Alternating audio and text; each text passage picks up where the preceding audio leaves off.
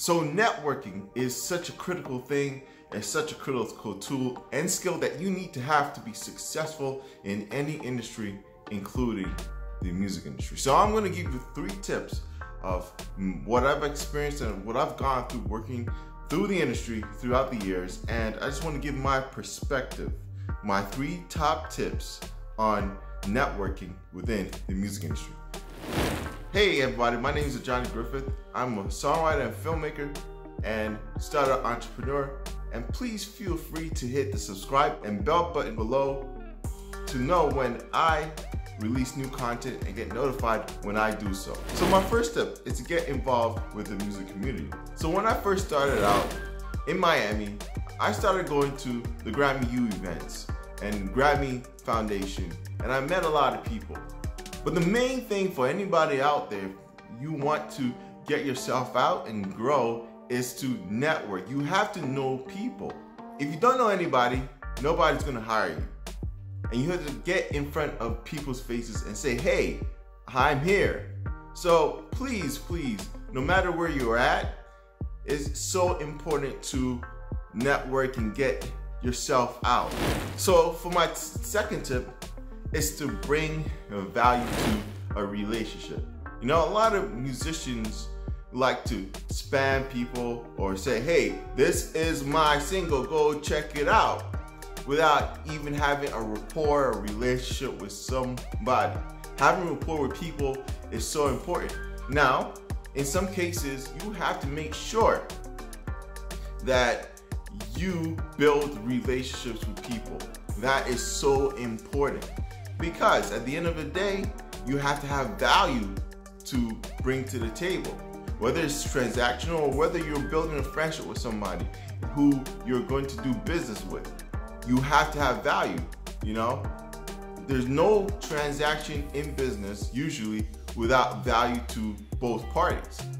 Make sure you understand the needs and want of the person that you're building a relationship with and see how you can work together. Sometimes it, there's no value in the relationship from a transactional end or in the business end, and that's fine.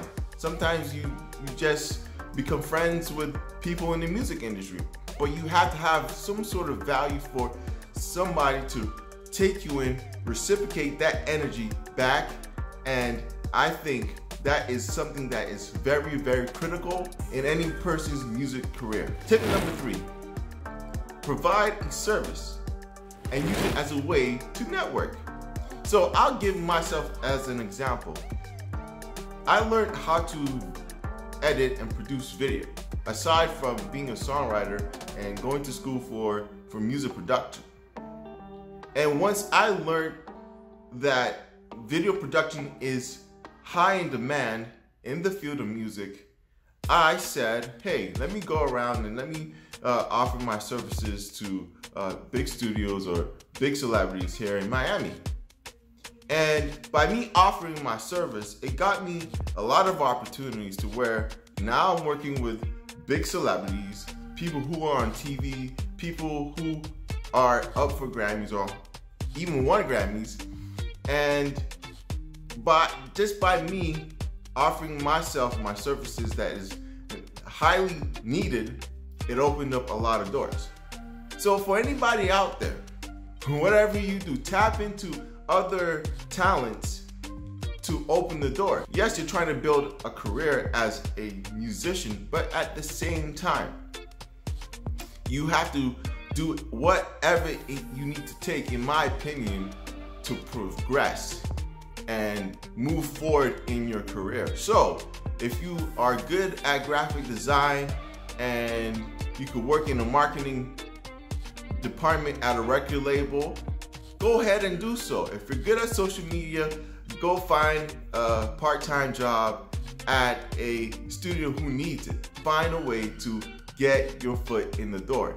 You don't have to do it forever, but the main thing is like myself to where I use a talent to open up more opportunities to help my career, you can do so. My advice to any musician out there is to simply find a talent or tap into the talent and skill sets that you have and offer it if there's a market for it and open up doors using that talent.